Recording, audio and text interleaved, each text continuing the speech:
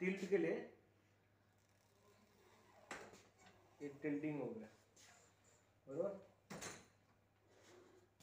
इसको प्रेस करो। ये रिक्लाइन हो गया।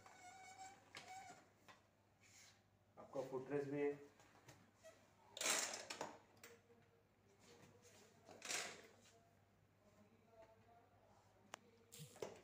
इसको हल्का सा दबाओ।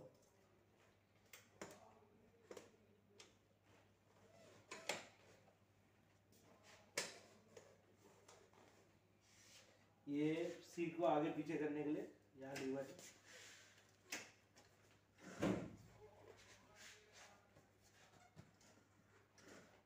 कार में जैसा रहता है वैसे ही।